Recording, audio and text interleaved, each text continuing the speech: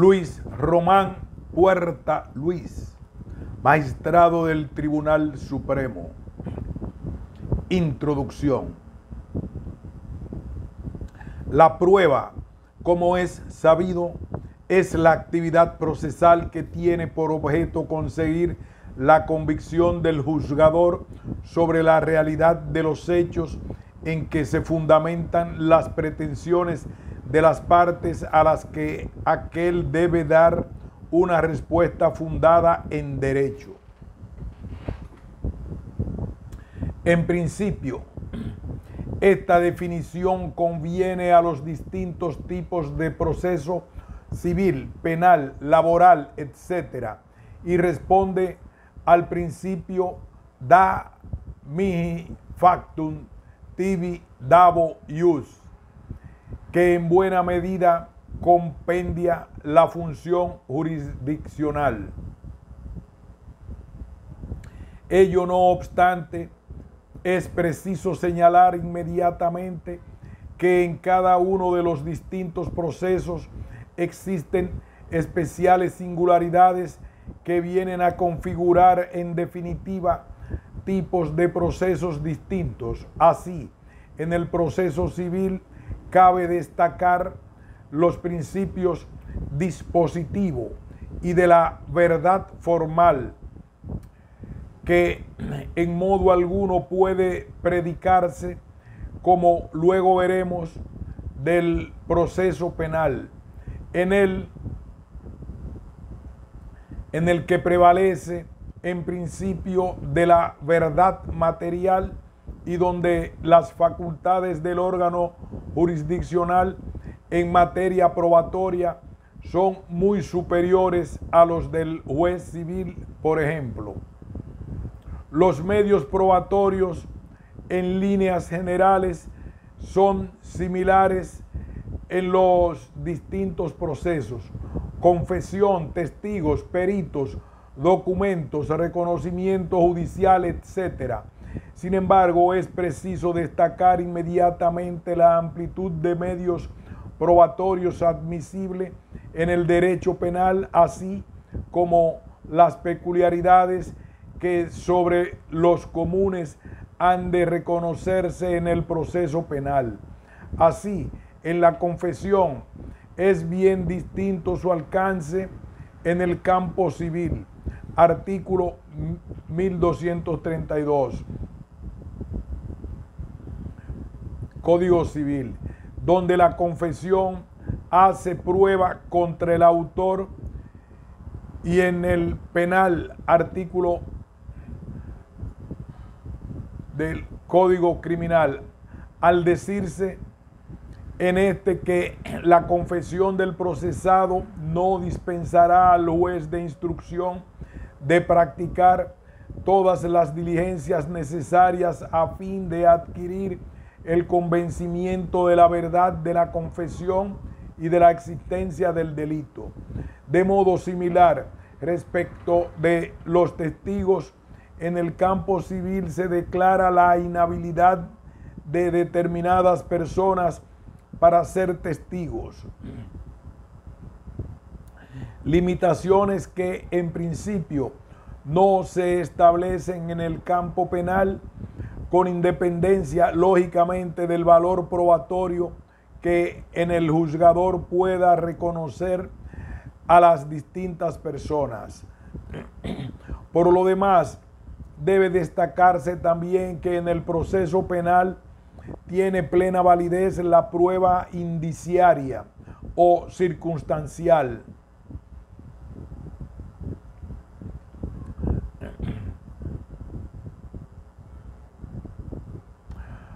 Tres, por su parte, el procedimiento probatorio, es decir, el conjunto de trámites procesales en que se articula la actividad probatoria responde también en principio a un esquema común a los distintos procesos, proposición, admisión y práctica. No obstante, en el proceso penal existe una peculiaridad que oscurece sensiblemente este simplista esquema, pues al estar dividido el mismo en dos fases, instrucción o preparatoria y del juicio oral o plenaria, en las que se practican diligencias formalmente idénticas, declaración, testimonios, pericias, etcétera, algunas de las cuales no son susceptibles de repetición en la fase del plenario. Se plantean a veces serias dificultades en orden a la interpretación y valoración de tales diligencias que no siempre encuentran no siempre encuentran en la doctrina y en la jurisprudencia unos criterios armónicos. A este respecto, tiene particular relevancia el artículo 188, ley criminal, cuyo texto actualmente vigente fue introducido en la ley en cuanto implica la posibilidad de personación e intervención del inculpado en las actividades de la fase de instrucción del proceso penal, en lo que potencia extraordinariamente las posibilidades de defensa, tanto en orden a la iniciativa sobre práctica de determinadas diligencias, con el ejercicio del derecho que de contradicción en las declaraciones de testigos y coimputados ante la autoridad judicial. 4. Constituye un aspecto de singular relevancia, especialmente en el proceso penal, el obligado respecto, el, obligado respeto de los derechos y garantías reconocidos constitucionalmente, que abarca no solamente el texto de nuestra norma fundamental, sino que alcanza igualmente a los tratados y acuerdos internacionales sobre el particular.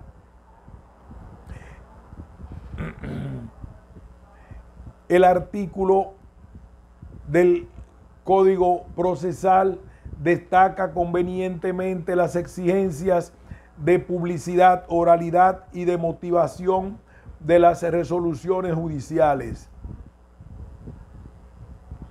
En el artículo 24 de la Constitución, uno de los más frecuentes, cita ante los tribunales, reconoce, entre otros, el derecho a obtener la tutela judicial efectiva de los jueces y tribunales con expresa proscripción de la indefensión.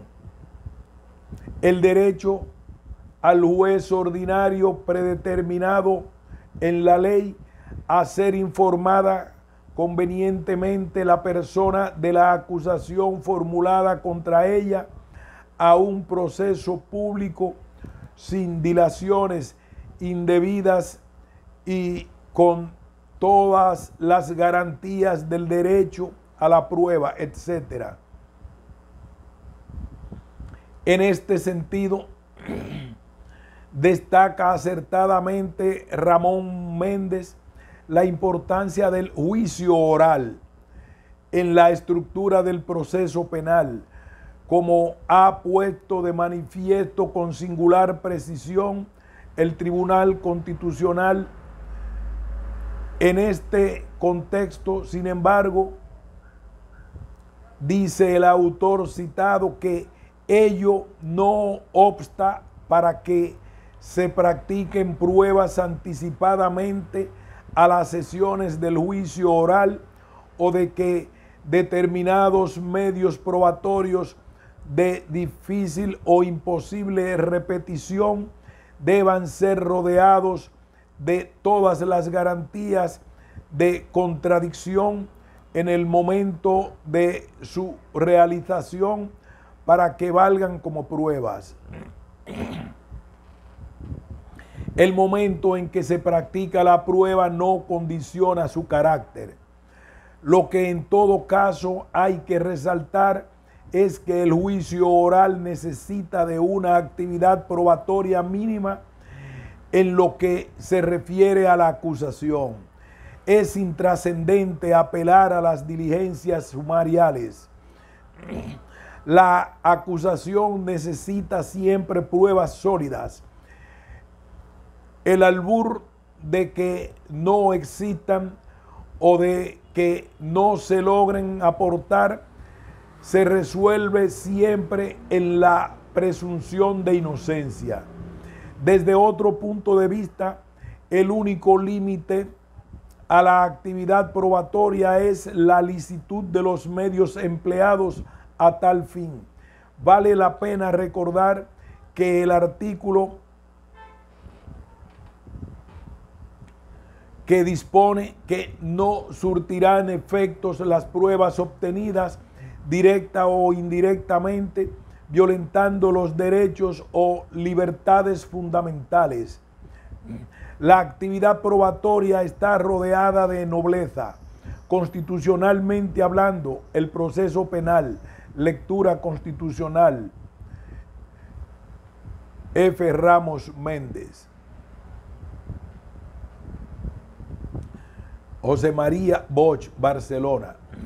El Tribunal Constitucional, al examinar especialmente a través de los recursos de amparo el alcance del derecho a la presunción de inocencia, a la proscripción de toda indefensión y a la necesidad de motivar las sentencias, ha ido marcando las líneas maestras que de acuerdo con las exigencias constitucionales deben configurar el proceso penal en nuestro ordenamiento jurídico. Conforme a la doctrina del Tribunal Constitucional puede señalarse como líneas maestras del proceso penal las siguientes. A. Principio de libre valoración de las pruebas. B. Únicamente pueden considerarse auténticas pruebas que vinculen a los órganos de la justicia penal las practicadas en el juicio oral. C. Las diligencias sumariales son actos de investigación encaminados a la averiguación del delito e identificación del delincuente. D. Solo cuando las diligencias o actuaciones sumariales son de imposible o muy difícil reproducción en el juicio oral, es posible traerlas al mismo como prueba anticipada o preconstituida. CE. La carga material de la prueba corresponde exclusivamente a la acusación F. Para que las diligencias sumariales puedan tener eficacia probatoria, es preciso que sean reproducidas en el acto de la vista en condiciones que permitan la defensa del acusado someterlas a contradicción. Salvo las excepciones regularmente previstas, el proceso debe ser público. La publicidad implica que los juicios sean conocidos más allá del círculo de los presentes en los mismos pudiendo tener una proyección general y predominantemente oral. Dicho que las actividades instructoras no son públicas y quedan al margen del procedimiento predominantemente oral. La exigencia de motivación en las sentencias por su parte cumple una doble finalidad. De un lado, exteriorizar el fundamento de la decisión adoptada, haciendo explícito que responde a la determinada interpretación jurídica y permitiendo su eventual control.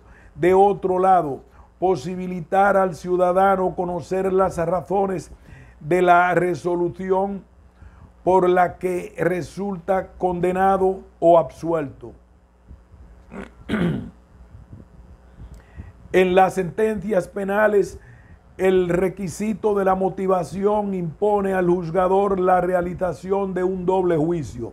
De una parte, la existencia de una motivación fáctica o antecedentes de hecho inferida a partir de la prueba practicada, haciendo declaración expresa y terminante de los que estimen probados. De otra parte, una valoración jurídica suficientemente razonada acerca de los hechos declarados probados. A este respecto, es importante destacar la diversa trascendencia de esta exigencia que comporta según se trate de prueba directa o indirecta. En el primer caso, en muchas ocasiones poco será lo que el juzgador pueda decir para explicar las razones de su convicción. No sucede así, en cambio, tratándose de prueba indirecta, es decir, cuando el juzgador forma su convicción partiendo de unos hechos indiciarios debidamente acreditados en la causa, por cuanto dichos indicios, aparte de estar acreditados por prueba directa, han de llevar a la convicción sobre el hecho, consecuencia que el juzgador estime acreditado a través de un razonamiento acorde con las reglas de la lógica y las enseñanzas de la experiencia, según las reglas del criterio humano. Razonamiento que el juzgador deberá explicar con objeto de posibilitar su revisión ante el órgano superior e incluso en la vía casacional. Exigencias legales y constitucionales de la prueba. Al estudiar la prueba en el proceso penal es preciso hacer referencia, siquiera sea esta sucinta, a las exigencias legales y constitucionales de los diferentes medios probatorios que constituyen otras tantas garantías para el justiciable el cual no puede ser condenado sin una prueba suficiente obtenida con las debidas garantías. En este sentido, aparte de lo anteriormente dicho sobre la valoración de la prueba, carga de la misma, momento de practicarse principios de publicidad, inmediación, oralidad y contradicción, así como sobre motivación de las sentencias, procede destacar lo siguiente. Uno, a que todos los ciudadanos y los poderes públicos están sujetos a la Constitución, así como al resto del ordenamiento jurídico, que la Constitución garantiza el principio de legalidad, la jerarquía normativa la publicidad de las normas, la irretroactividad de las disposiciones sancionadoras no favorables o restrictivas de derechos individuales, la seguridad jurídica, la responsabilidad y la interdicción de la arbitrariedad de los poderes públicos, que las normas relativas a los derechos fundamentales y a las libertades de la Constitución reconoce que se interpretarán de conformidad con la Declaración Universal de los Derechos Humanos y con los tratados y acuerdos internacionales sobre las mismas materias ratificados por España, que la Constitución es la norma suprema del ordenamiento jurídico y vincula a, lo, a todos los jueces y tribunales quienes interpretarán y aplicarán las leyes y los reglamentos según los preceptos y principios constitucionales conformes a la interpretación de los mismos que resulte de las resoluciones dictadas por el Tribunal Constitucional en todo tipo de procesos, que existe la posibilidad de promover cuestiones de inconstitucionalidad, que los derechos y las libertades reconocidas en el capítulo segundo del título primero de la Constitución vinculan en su integridad a todos los jueces y tribunales y están garantizados bajo la tutela efectiva de los mismos. que no surtirán efecto las pruebas obtenidas directa o indirectamente violando los derechos o libertades fundamentales.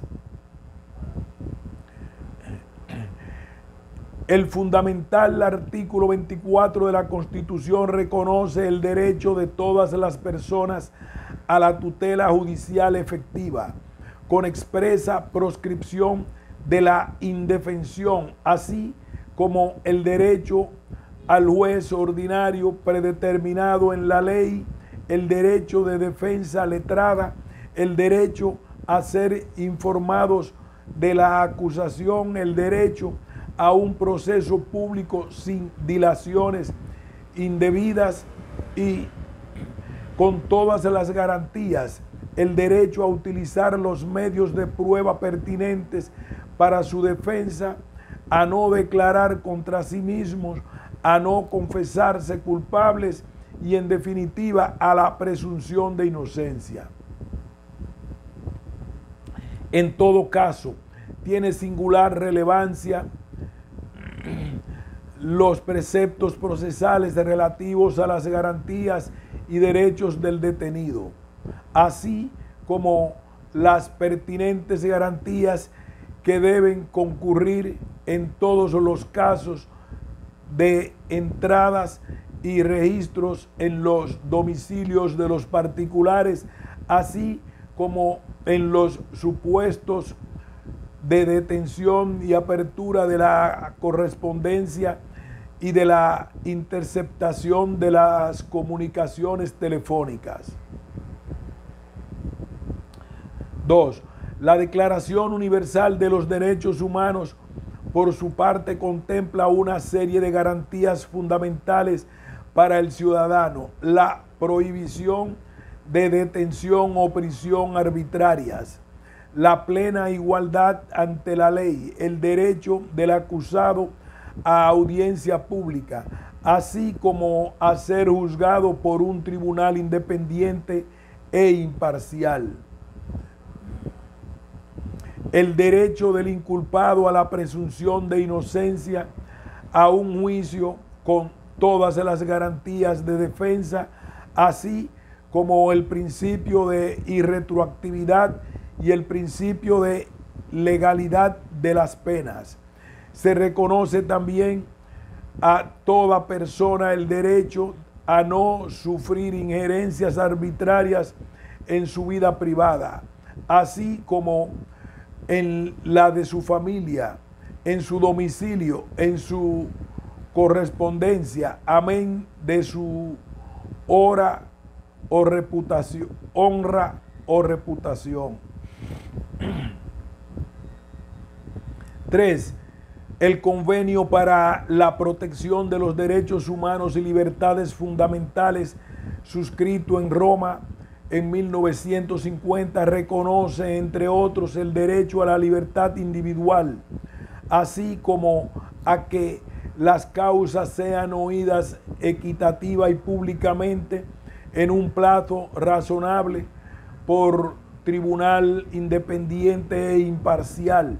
En todo caso, se reconoce a todo acusado el derecho a conocer la acusación que pese sobre él, al tiempo y a las facilidades necesarias para preparar su defensa, a defenderse por sí, por letrado o por abogado de oficio, a interrogar o hacer interrogar a los testigos que declaren contra él, a obtener la citación y el interrogatorio de los testigos que declaren en su favor en las mismas condiciones que los testigos que lo hagan en su contra, así como a disponer de un intérprete cuando no conozca la lengua del tribunal que ha de juzgarle. Como garantía del reconocimiento de todos estos derechos, el citado convenio ha creado la Comisión y el Tribunal Europeo de Derechos Humanos. 4. El Pacto Internacional de Derechos Civiles y Políticos suscrito en Nueva York en 1966 finalmente viene a reconocer un estado jurídico similar al diseñado por la Declaración Universal de los Derechos Humanos y el Convenio Europeo sobre esta materia. Medios de prueba. Respecto a los medios de prueba, dice el Código Civil que las pruebas pueden hacerse por instrumentos, por confesión, por inspección personal del juez, por peritos, por testigos y por presunciones. La ley de enjuiciamiento civil, por su parte, dispone que los medios de prueba de que se podrán hacer uso en juicio son, primero, confesión, segundo, documentos públicos y solemnes, tres, documentos privados y correspondencia. Cuarto, los libros de los comerciantes que lleven con las formalidades prevenidas en la sección segunda, título segundo, libro primero del Código de Comercio. Quinto, dictamen de peritos. Sexto, reconocimiento judicial. Y séptimo, testigos. Ni el Código Penal ni la ley de enjuiciamiento criminal contienen una enumeración similar para el campo penal que en principio está abierto a un amplio abanico de posibilidades probatorias. Ello, no obstante, como destaca Tomé García, la ley de enjuiciamiento criminal contiene una regulación de los medios de prueba que podemos calificar de insuficiente por varios motivos. A. La regulación de cada medio de prueba es limitada ya que continuamente se refiere a la regulación de del correspondiente acto de investigación sumarial. B. No regula, aunque sí menciona la declaración del acusado como medio de prueba a practicar en el juicio oral. C. No contempla los problemas que plantea la práctica de los modernos medios de prueba, fotografía, videos, cinta magnetofónicas, telex, etc.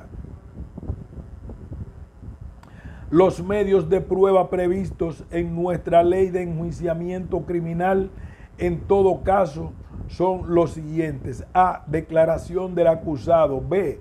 Prueba testifical. E. Careo. D. Prueba pericial. E. Prueba, de prueba documental. F. Inspección ocular. Por lo demás, debe citarse también como prueba válida en el campo penal la denominada prueba por indicios. Seguidamente vamos a hacer una sucinta referencia a los distintos medios de prueba especialmente regulados en la ley de enjuiciamiento criminal. 1. A. Declaración del acusado. Artículo de la ley criminal. Los artículos de esta ley pueden plantear dudas sobre su constitucionalidad habida cuenta de los derechos reconocidos al inculpado en el artículo del Código Especial. derecho a no declararse culpable, a no declarar contra sí mismo, etc.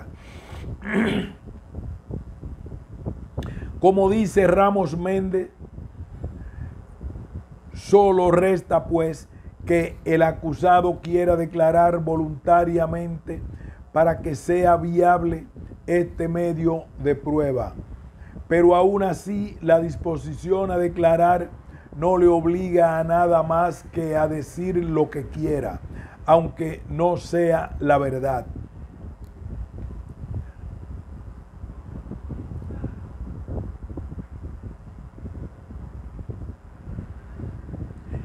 Importa destacar que, según establece el artículo 406 de la ley criminal, la confesión del procesado no dispensará al juez de instrucción de practicar todas las diligencias necesarias a fin de adquirir el convencimiento de la verdad de la confesión y de la existencia del delito. Conforme a los artículos de la ley criminal, cabe la conformidad del acusado con la calificación acusadora.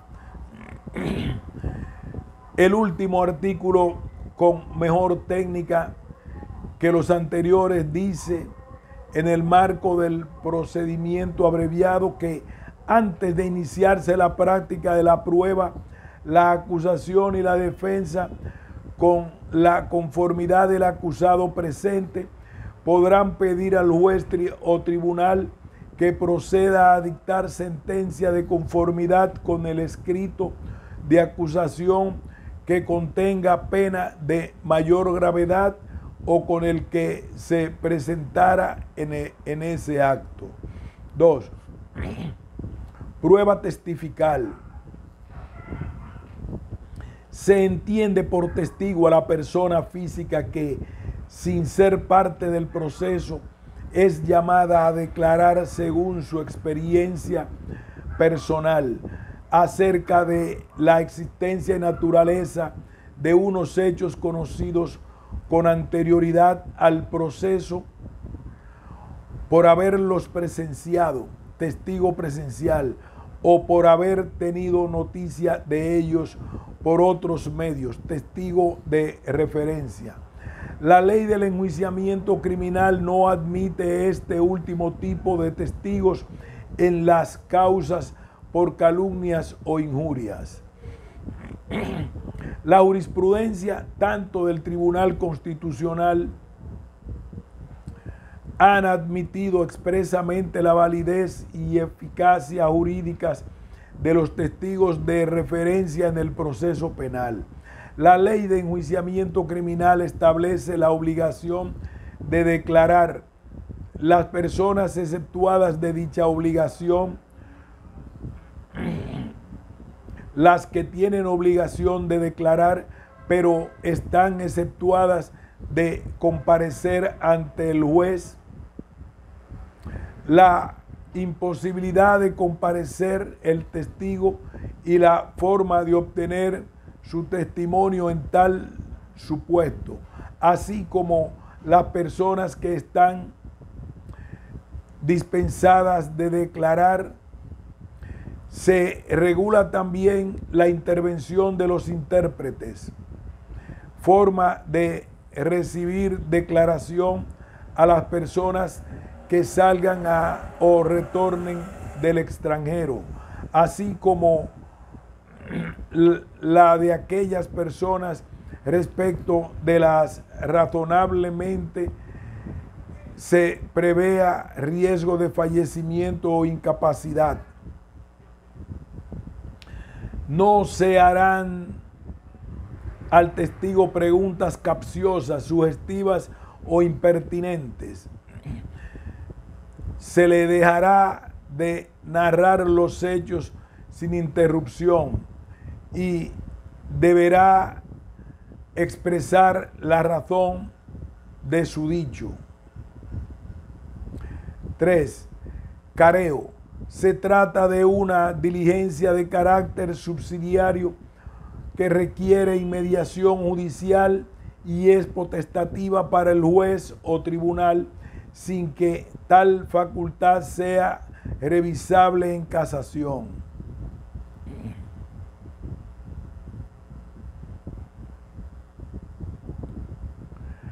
Cuatro, cuatro, prueba pericial. Perito es la persona que sin ser parte del proceso emite declaraciones sobre hechos que tienen carácter procesal en el momento de su captación, para cuyo conocimiento o apreciación son necesarios o convenientes conocimientos científicos o artísticos. Importa destacar la posibilidad de su recusación. Destaca la ley que cuando sean varios los peritos deberán ser examinados junto, juntos en el supuesto de que deben declarar sobre unos mismos hechos. Cuando se trate de informes emitidos por organismos y entidades oficiales de reconocida competencia y objetividad, la jurisprudencia viene entendiendo que no es precisa para su validez y eficacia jurídica la ratificación de los correspondientes informes ante la autoridad judicial cuando obrando unidos a la causa los pertinentes informes de modo que los mismos hayan podido ser conocidos y examinados por las partes, estas no hayan formulado petición alguna al respecto.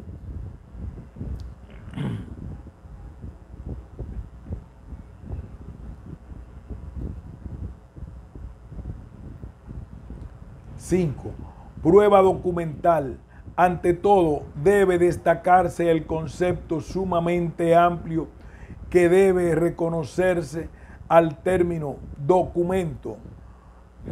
La sentencia del Tribunal Superior entiende por documento toda cosa mueble apta para la incorporación de señales expresivas de un determinado significado.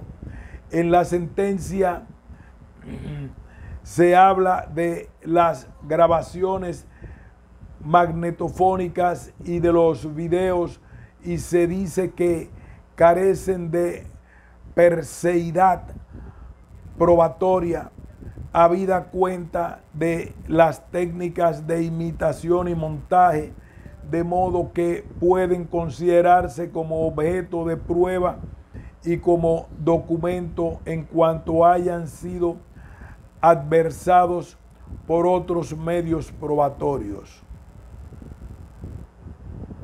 La inspección ocular suele ser de ordinario una diligencia sumarial como ha puesto de relieve la jurisprudencia, esta diligencia de prueba en general resulta inútil una vez concluso el sumario y transcurridos varios meses, pues no cabe ya recoger huellas o vestigios que puedan poner de relieve la forma de comisión por vía de hipótesis de los hechos objeto de acusación. 7. Prueba de indicios. Se entiende por prueba indiciaria aquella que se dirige a convencer al órgano judicial de la verdad o certeza de unos hechos que no son integrantes de la figura delictiva enjuiciada, pero de los que puede deducirse conforme a las reglas de la lógica y de la experiencia, la realidad del delito o la participación del acusado en su comisión. Se señalan como requisitos de este medio probatorio A, que no se trate de indicios aislados, sino que exista una pluralidad de ellos. La sentencia. Sin embargo, ha omitido, sin embargo, ha admitido la posibilidad de que sea válido este medio probatorio con un solo indicio cuando por su especial significación así proceda. Que los hechos, ve que los hechos básicos han de estar plenamente acreditados mediante la prueba directa. Sé que entre el hecho demostrado, indicio, y aquel que se trate de deducir un enlace preciso, directo, según las reglas del criterio humano, y que el órgano judicial explicite en la sentencia el razonamiento en virtud del cual, partiendo de los indicios o extremos directamente acreditados en la causa, ha llegado a la conclusión de la certeza del hecho o del extremo de que se trate. El Tribunal Constitucional ha admitido expresa y reiteradamente este medio probatorio en el campo penal. Por último, debe destacarse que es revisable en casación la razonabilidad de la inferencia hecha por el tribunal de instancia, la cual por demás únicamente puede ser rechazada cuando se estime ilógica, irracional o absurda y por ende arbitraria. Procedimiento probatorio. Dos cuestiones fundamentales han de analizarse aquí la proposición y la práctica de la prueba. En principio, únicamente se han de practicar en el juicio oral aquellas pruebas que, habiendo sido pedidas oportunamente por las partes, hayan sido declaradas pertinentes por el órgano judicial competente conforme a lo especialmente previsto en la propia ley respecto de cada medio de prueba en particular. Más, junto a las pruebas propuestas por las partes según dispone el artículo 729, también se practicarán las diligencias de prueba no propuestas por ninguna de las partes que el tribunal considere necesario para la comprobación de cualquiera de los hechos que hayan sido objeto de los escritos de calificación. Surge así una interesante cuestión directamente emparentada con el principio acusatorio y con el derecho del justiciable a un tribunal imparcial. En el campo doctrinal, la mayor parte de los autores no cuestionan la posible iniciativa probatoria de los órganos jurisdiccionales se limitan a dejar constancia de lo previsto. Algunos, sin embargo, se adentran en la compleja problemática del precepto. Gómez Orbaneja y Jerce Quemada dicen que además de las diligencias de pruebas propuestas por las partes, se practicarán las, del, que el tribunal considere necesarias para la comprobación de cualquiera de los hechos que han sido objetos del escrito de calificación. 2. El tribunal examinará por, por sí mismo y sin necesidad de que nadie se lo pida los libros, documentos, papeles y demás piezas de convicción. Las pruebas de cada parte se practicarán según el orden con que se hayan sido propuestas, pero el presidente, aún de oficio, cuando así lo considere conveniente, para el descubrimiento de la verdad, podrá alterar el orden. Emilio Gómez Orbaneja y Vicente Herce Quemada. Fenech, por su parte, dice que el juez instructor tiene el deber de aportar al proceso cuantos medios de prueba crea conveniente para facilitar el conocimiento de los hechos objeto del proceso. Y añade que, decretada la apertura del proceso decisorio, el tribunal, para salvaguardar su propia imparcialidad, deja que sean normalmente las partes las que aporten nuevos medios de prueba o propongan la práctica de pruebas para el acto del juicio, de modo que la ley no obliga al tribunal a que tome la iniciativa de la realización de actos de prueba concretos. El presidente en el acto del juicio debe acordar el careo de los testigos entre sí o con los procesados o entre estos. Y el tribunal debe ordenar la práctica de las diligencias de prueba no propuestas por las partes que estime necesarias para la comprobación de cualquiera de los hechos que han sido objeto de los escritos de calificación. Pero estos deberes del tribunal o de su presidente no son absolutos, sino que surgen o no según las circunstancias de cada, cada caso y deberán ser apreciadas estas en conciencia por el propio tribunal.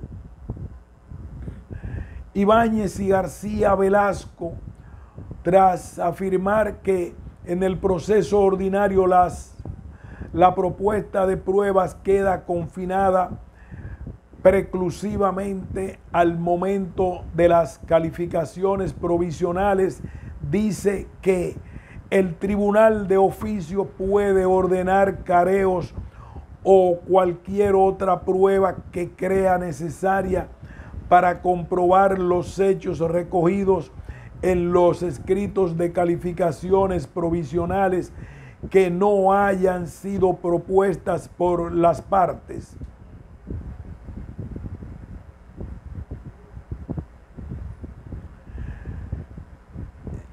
Jimeno, Sendra, al examinar la prueba, dice que la actividad probatoria incumbe a los sujetos procesales y de entre ellos fundamentalmente las partes. Como consecuencia de la vigencia del principio de aportación con, constitucional al sistema acusatorio,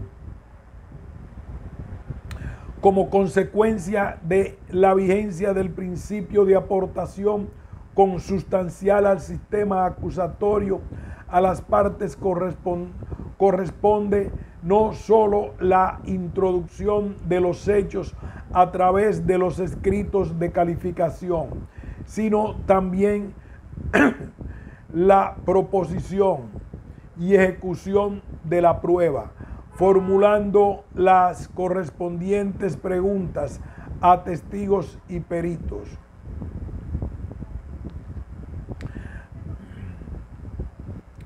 Pero en este proceso penal el tribunal está obligado a descubrir la verdad histórica o, material y distinta. Por tanto, esta a las que las partes pudieran representarle verdad formal. Por esta razón, la ley criminal establece una serie de correcciones al principio de aportación en beneficio de su modelo dialéctico, el de investigación De este modo,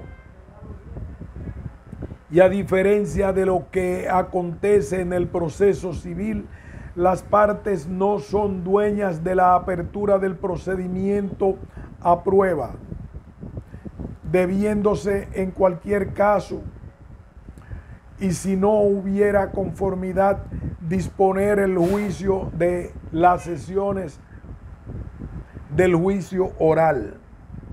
El tribunal puede de oficio proponer la práctica de los medios de prueba, formular su presidente preguntas a los intervinientes en la misma, disponer de oficio la diligencia del careo, examinar el tribunal del mismo modo la prueba documental, el proceso penal.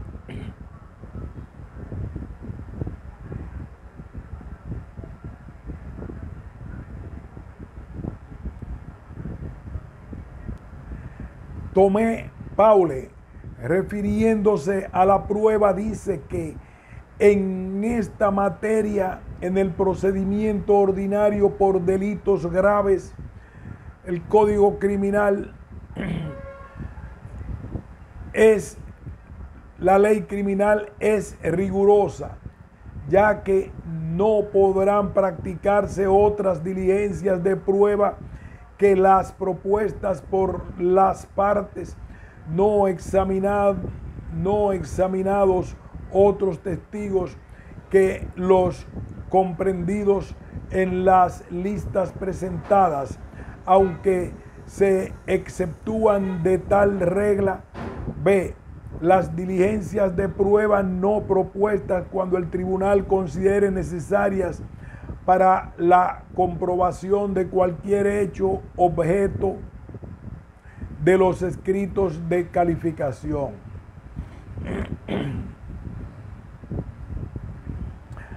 Uno, J. Almagro Nesete y J. Tomé de Paule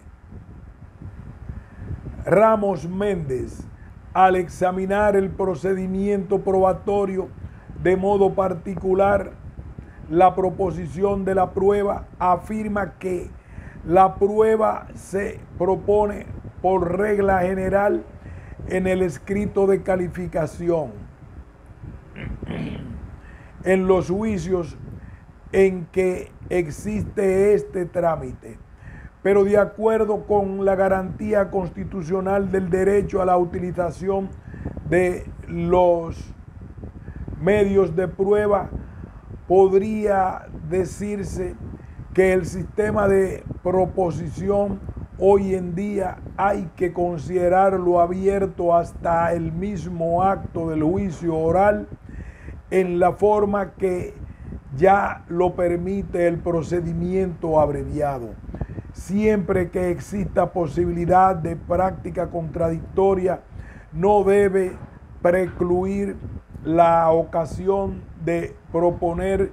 En este sentido hay que renovar la lectura constitucional del artículo de la ley criminal, de acuerdo con los principios que rigen el proceso penal en el tribunal puede tomar la iniciativa probatoria.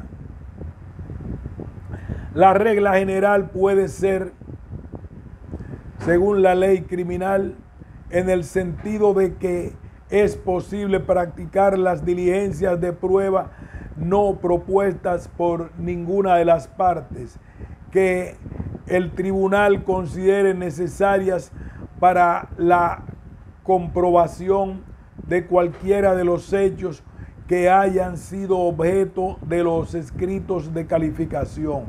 Por tanto, no solo los careos.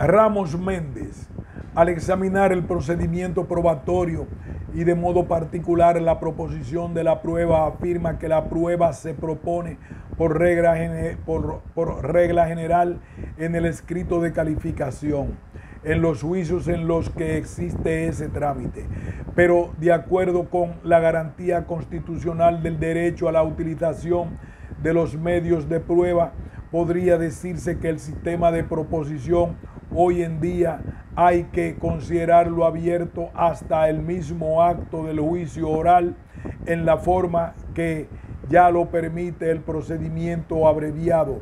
Siempre que exista posibilidad de práctica contradictoria, no debe precluir la ocasión de proponer y en este sentido hay que renovar la lectura constitucional de acuerdo con los principios que rigen el proceso penal, también el tribunal puede tomar la iniciativa probatoria. La regla general puede ser en el sentido de que es posible practicar las diligencias de prueba no propuestas por ninguna de las partes que el tribunal considere necesarias para la comprobación de cualquiera de los hechos que hayan sido objeto de los escritos de calificación. Por lo tanto, no solo los careos.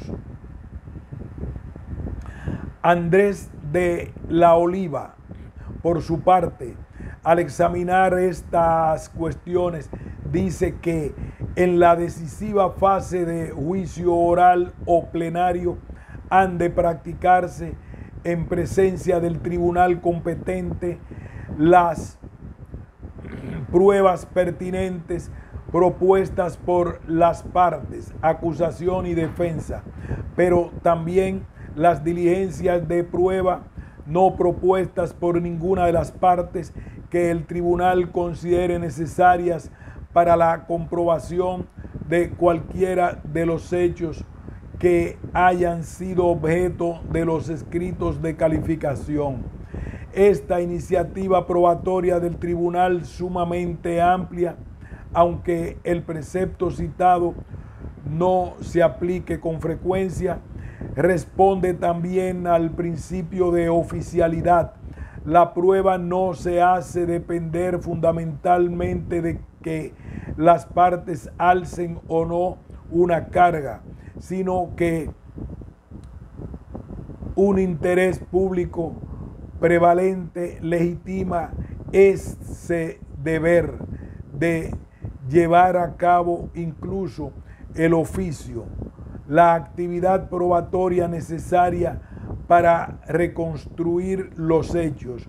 No se quiere decir con esto que en el proceso penal no desempeñe ningún papel la carga de la prueba.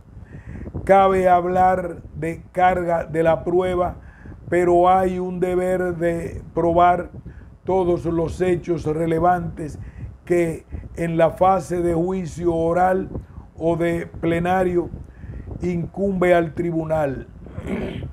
Consecuencia o derivación primaria del principio dispositivo es la necesidad jurídica de la congruencia de la sentencia con las pretensiones de las partes. Lógicamente, cuando es en cambio el principio de oficialidad el que inspira la legislación y la realidad procesal,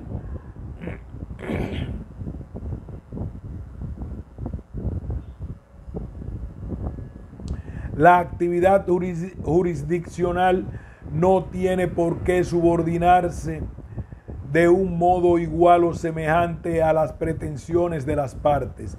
Por eso ha de dejarse aquí sentado sin perjuicio de posteriores explicaciones que la sentencia del proceso penal debe guardar si cierta correlación de las pretensiones punitivas, pero no a causa de una inexistente disponibilidad de las partes sobre los derechos y hechos llevados al proceso, sino por exigencias procesales o de forma esencial del proceso, armónicas con el interés público que predomina como regla en los procesos penales inspirados por el principio de oficialidad. ha de haber correlación entre acusación y sentencia. Hay tesis distintas acerca del grado de la correlación o por mejor decirlo, de la vinculación del tribunal y a la acusación. Pero algunos, la vinculación para algunos, la vinculación ha de ser absoluta. Para otros, entre los que nos encontramos, la vinculación es limitada por entender que es preciso y es posible combinar la imparcialidad o neutralidad del tribunal respecto de las partes con la satisfacción del interés público consistente en una acertada persecución jurídica de los delitos. Este interés hace que el tribunal sea en cierto modo beligerante respecto del objeto del proceso penal, aunque sin duda haya de propiciar la plena contradicción procesal y los derechos procesales de las partes.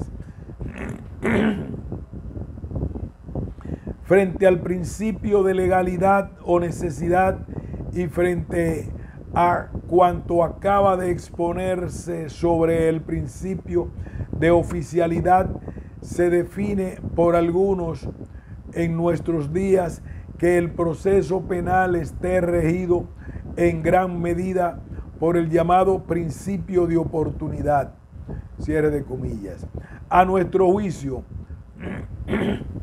el derecho español excluye en la actualidad que en los a nuestro juicio el derecho español excluye en la actualidad que en los procesos penales se siga el principio de oportunidad.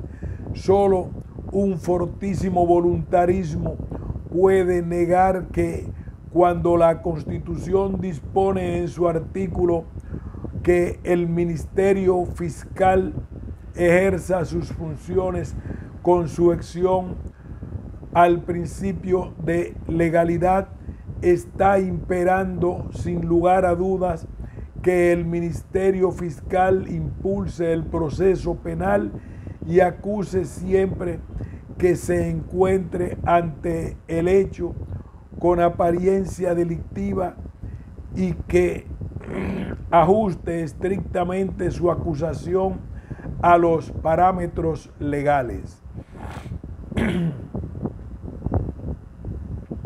Sara Aragonés, Sara Aragoneses, Rafael Hinojosa Segovia, Julio Muerza Esparza, José Antonio Tomé García.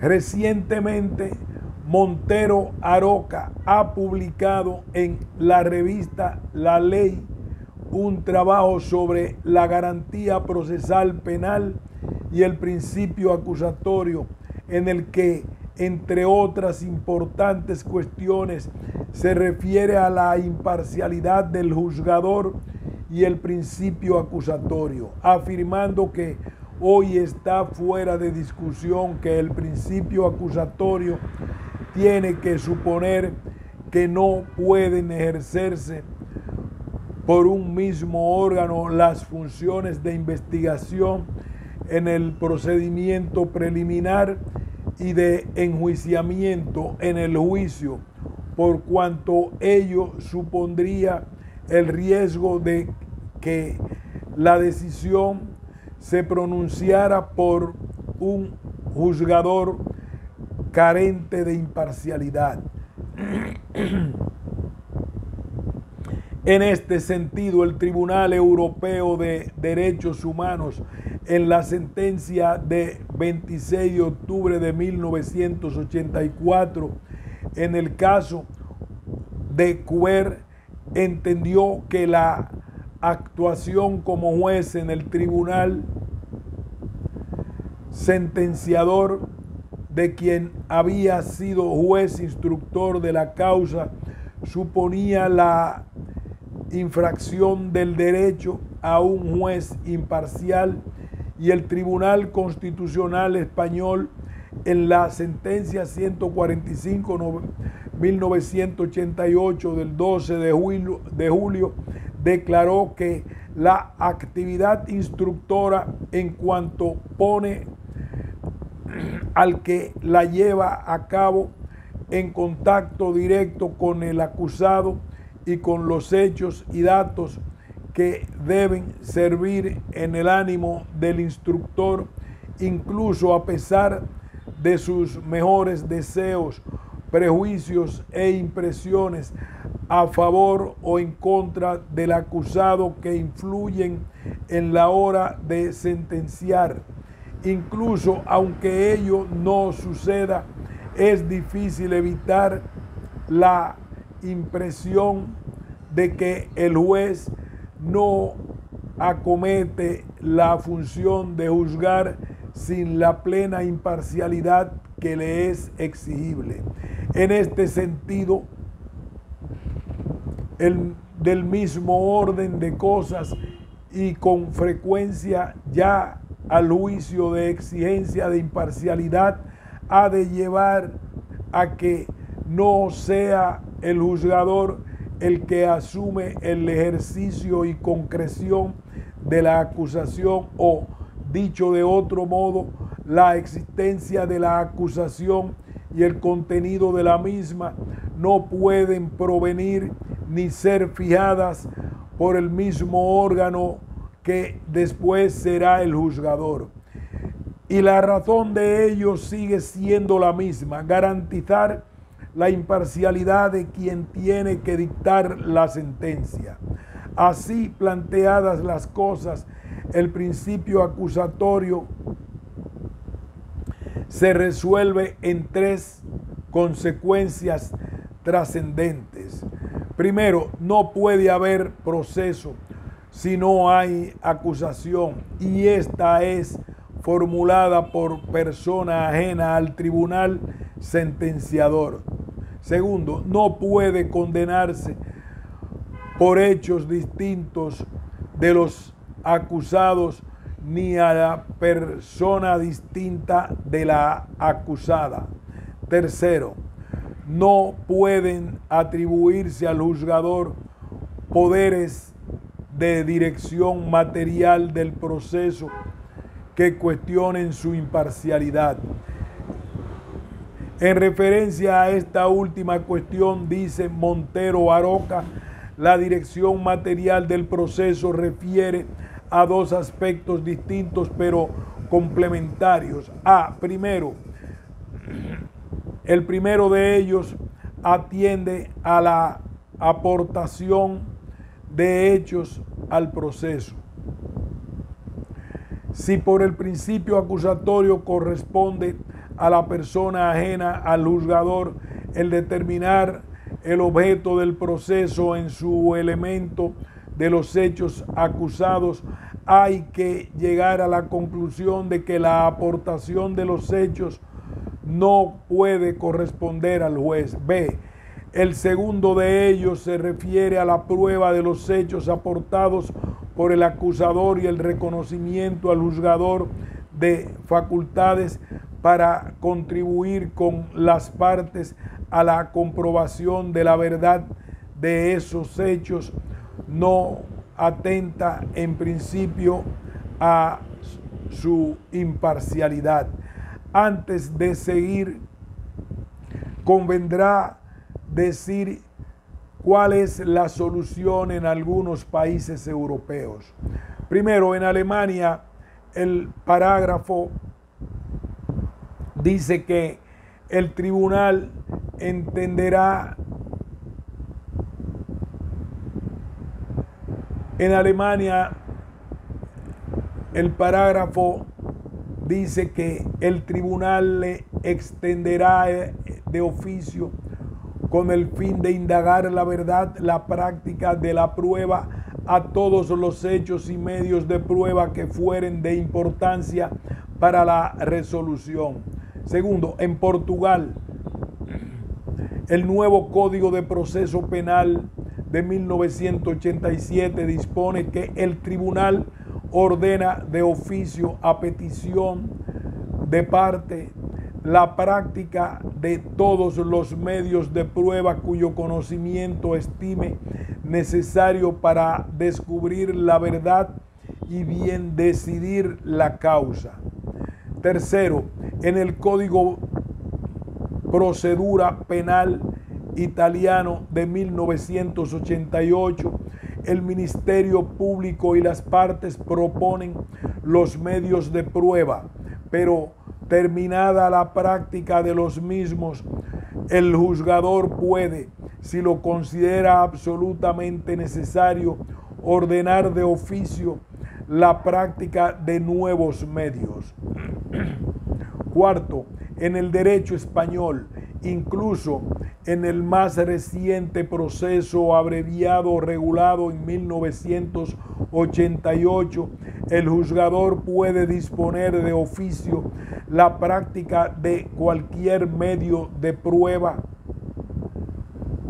Resulta así que en los derechos europeos se ha comprendido que las facultades atribuidas al juzgador en orden a la prueba no afectan su imparcialidad y otra cosa muy distinta es que siempre respecto de los hechos acotados por los acusadores pueda colaborar para determinar la existencia o inexistencia de los mismos.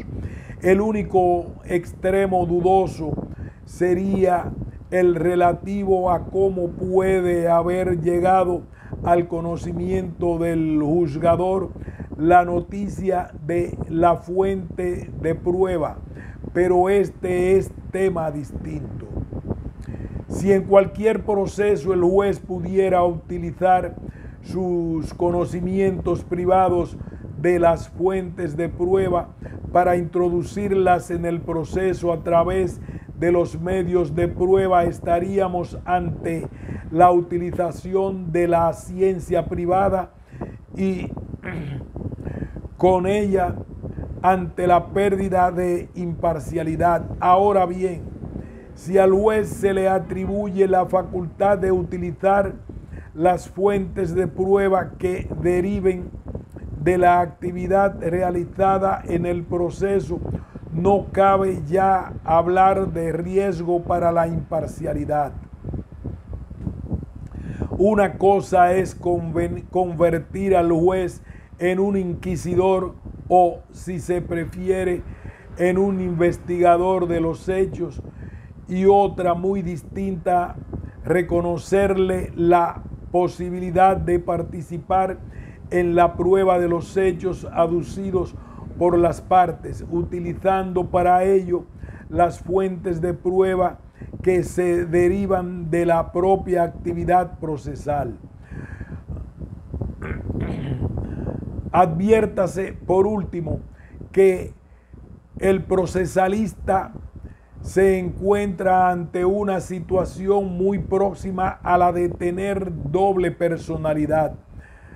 Por un lado, se viene sosteniendo que deben aumentarse los poderes del juez civil, terminando con el juez espectador, hasta reconocerle la posibilidad de que ordene pruebas de oficio y al mismo tiempo, y por otro lado, se dice que hay que limitar los poderes del juez penal hasta el extremo de que no pueden ordenar pruebas de oficio, con lo que se le convierte en un juez pasivo.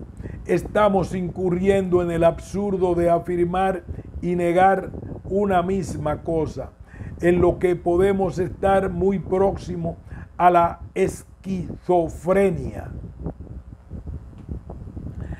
Sobre la facultad del Tribunal Penal de proponer determinadas pruebas, se ha pronunciado el Tribunal Supremo en algunas recientes sentencias. Así, en la sentencia del 30 de noviembre de 1993, ponente Díaz Palos dice que respecto a la prueba testifical, la impugna el recurrente porque los dos testigos presentes en el registro fueron traídos al juicio oral no por las partes, sino por el tribunal acuo, quien habida cuenta de la incomparecencia de tales testigos y del otro sí propuesto por el fiscal, declaró la suspensión del juicio oral. Respecto a los testigos presenciales del registro, pero no propuestos, el acuo hizo uso de lo dispuesto en el artículo de la ley criminal, con lo que en sentir del recurrente, el tribunal se convirtió en juez y parte, puesto que en realidad realizó un acto de investigación propio de un acto de acusación, dadas las respuestas de dichos testigos favorables a la tesis acusatoria, de modo que ésta, al ser asumida por el tribunal, contradijo las condiciones de ser independiente e imparcial y las que en ella se citan. Ahora bien, la interpretación del recurrente del artículo de la ley criminal vacía al mismo del contenido echándolo de tachándolo de inconstitucional, siendo así que el TE, el Tribunal de los Derechos Humanos, eh, en el Tribunal Español de Derechos Humanos, en sentencia de del 6 de diciembre de 1988, caso de Barberá, Mesegué y Jabardo, entendió que los artículos de la ley criminal habilitan tanto al juez de instrucción como a la audiencia para procurarse de oficio las pruebas que estimen útiles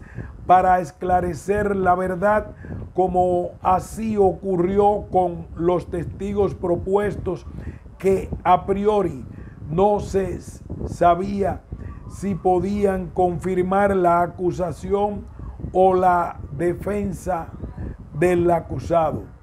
La sentencia del primero de diciembre de 1993, ponente Montero Fernández Cid, afirma que el derecho fundamental al proceso debido legalmente descompuesto en las plurales garantías concretas que establece el artículo 24 del Código siempre ofrece perfiles necesitados de adecuada hermenéutica. El punto de partida para examinar el elemental principio de imparcialidad objetiva del órgano jurisdiccional en el proceso penal no estará seguramente distante de estas dos perspectivas. A. La precisión de distinguir entre carga de la prueba e impulso probatorio. lo que es claramente palpable en la dogmática procesal alemana, singularmente respecto al, propio, al proceso civil. La carga supone una precisión de actuar si se quiere evitar la producción de un perjuicio para el propio interés, en tanto que el impulso es simplemente algo a priori desconectado de las pretensiones en forma abstracta. Se produce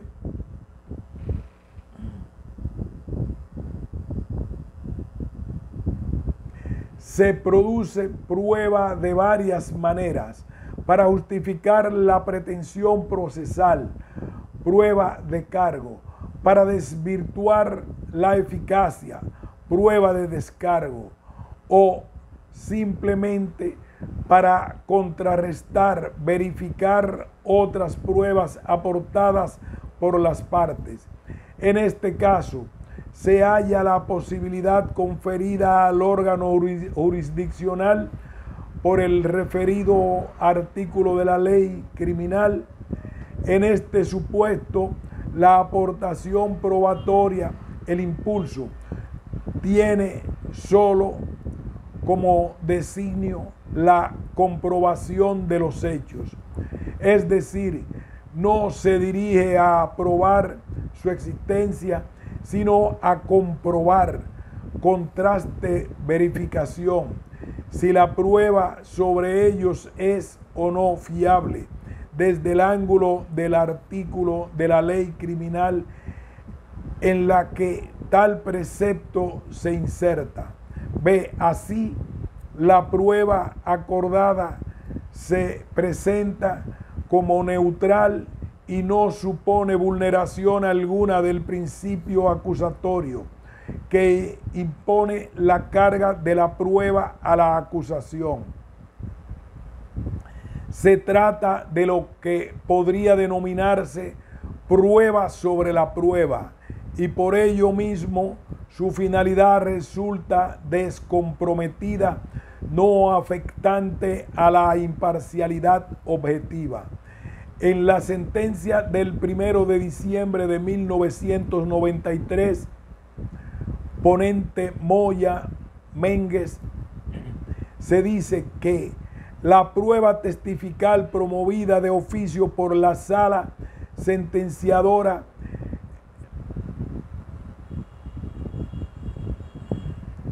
era necesaria o de posible influjo en el resultado del por cuanto aportaba un nuevo y valioso indicio de cargo y se refería a la comprobación de hechos consignados en el escrito de calificación del Ministerio Fiscal, como revelan las declaraciones sumariales del testigo.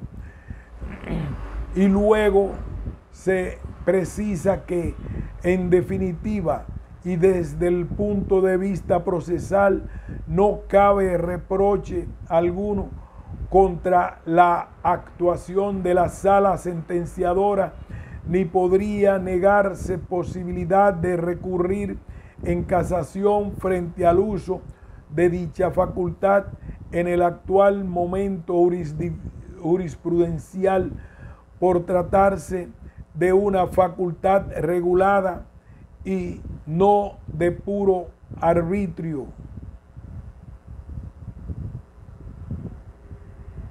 del tribunal y no de puro arbitrio del tribunal de instancia contra el criterio de las antiguas siguientes 8 de enero de 1986 y 10 de junio de 1905.